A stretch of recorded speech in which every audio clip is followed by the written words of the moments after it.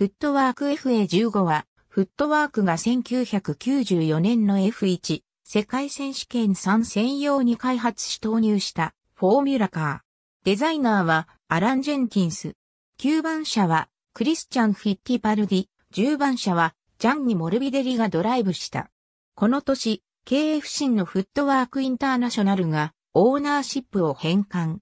コンストラクター名はフットワークのままだが、マシンから同社のカラーリングとブランドロゴが外され、チームはメインスポンサーを持たなかった。FA15 は前年までの無限ホンダエンジンに変えて、フォード HB エンジンのシリーズ7、8を搭載した。シーズン序盤は競争力を発揮し、モルビデリはブラジル GP で予選6番手となった。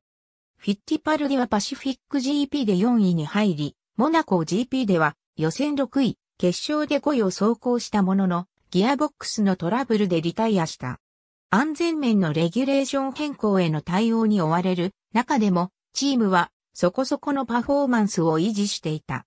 モルビデリはカナダで順調に走行した一方、フィッティパルディは6位で完走したものの、レース後の車検で重量不足であったため失格となった。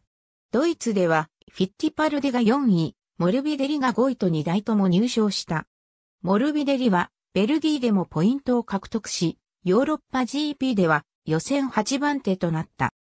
モルビデリは結局シーズンを通しての完走は4度、フィッティパルディはコンスタントに完走したものの、ポイント圏外がほとんどであり、チームのシーズン獲得ポイントは9、コントラクターズランキングは9位でシーズンを終えた。フィッティパルディはシーズン終了後に F1 を引退、カートに活動のフィールドを移す。